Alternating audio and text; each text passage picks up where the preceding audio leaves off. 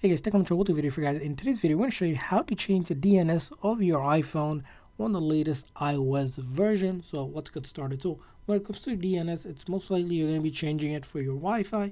In that case, simply go into your setting of your iPhone, go to Wi-Fi, and then once you're connected to the Wi-Fi, you want to click on that I for information, and then go all the way down here where it says configure DNS. And under that, you can pretty much click on manual and that will allow you to configure the DNS server you like to add. Simply click on add and then if you have the DNS information you can put that in or you can use public one which you can Google as well and after that you can hit save and that will save your DNS setting for your Wi-Fi. Now when it comes to cellular data DNS doesn't work like that. You'll have to set up a VPN in order to set up DNS servers for that which is in another video we can explain how that's done as well. So I hope you guys found this video helpful. If so, please make sure to like and subscribe button. Thanks for watching guys. See you guys uh, next time.